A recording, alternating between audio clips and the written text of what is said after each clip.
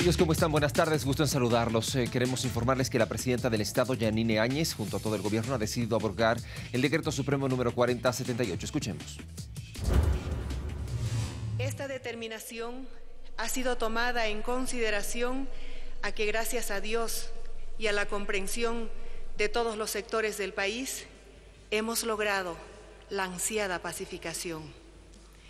El decreto 4078 es un recurso constitucional que los gobiernos tienen a su disposición cuando la seguridad del Estado o la seguridad de la ciudadanía se siente amenazada por acciones de violencia que ponen en peligro la estabilidad del país y la vida de los ciudadanos. Nuestro gobierno tuvo que recurrir a una medida de estas características porque enfrentó acciones violentas que nunca antes habíamos visto en nuestra historia y que nunca más quisiéramos verlas.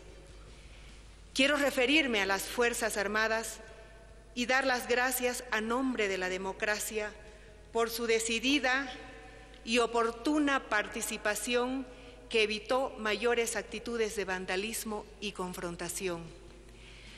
La ciudad del Alto, especialmente la zona de Sencata, ha vivido días de terror cuando se puso en riesgo no solamente una planta estratégica de combustibles, sino la vida de más de 250 mil alteños. La tragedia habría alcanzado dimensiones devastadoras. Los bolivianos nos caracterizamos por el respeto a las ideas, a la tolerancia de nuestras creencias y al respeto a la vida. Este gobierno tiene el propósito de organizar elecciones libres, limpias y transparentes. Hemos aprobado los pasos que nos corresponden y saludamos que la Asamblea Legislativa también está trabajando con la misma prontitud. Nos complace que todos los bolivianos hubieran optado por seguir trabajando y construyendo una Bolivia que viva en medio de una paz democrática. Quiero dar gracias a todos los dirigentes que asumieron con plena responsabilidad el rol que la historia les asignó en estos difíciles momentos. Ganó Bolivia.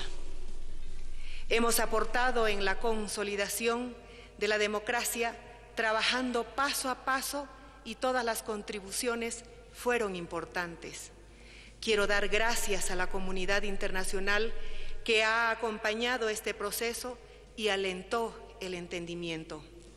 Ahora, queridos ciudadanos, nos toca llegar al momento histórico de la reconciliación. Que Dios bendiga Bolivia. Muchas gracias. Ustedes saben que Jesús Vera ha estado envuelto en muchísimas polémicas. Actualmente se encuentra con detención preventiva. Pero ¿qué sabemos al respecto de este señor? Adelante, por favor. Giovanna Cárdenas, te escuchamos. Buenas tardes. Informar que en el marco de las investigaciones de la quema buses municipales Pumacataris, mañana viernes se ha previsto la audiencia de apelación a la detención preventiva del dirigente vecinal Jesús Vera, quien estaría buscando la manera de salir de la cárcel, ya que él es uno de los principales acusados por estos daños ocasionados a estos buses. Recordemos eh, que la Fiscalía lo ha acusado por delitos de asociación delictuosa, daños a bienes y servicios públicos, entre otros, por lo cual eh, mañana se verá si un juez le otorga o no la libertad a Jesús Vera. Y estaremos atentos a aquello. En Cochabamba se han registrado enfrentamientos las semanas anteriores. El puente de Guayani ha sido, entre otros lugares, alguno de los más ah, álgidos. Tenemos información al respecto y hay historias muy duras, por cierto, que quedan después de aquello. Martín, con que te escuchamos.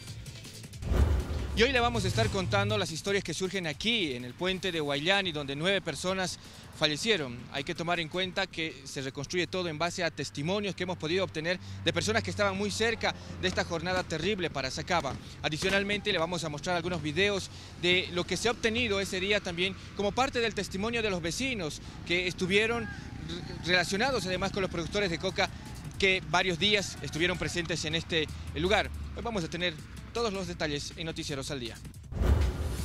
Y también dentro de las Brigadas al Día les vamos a contar la historia de un anciano que fue maltratado por su hijo de 24 años. ¿No es así, Almar?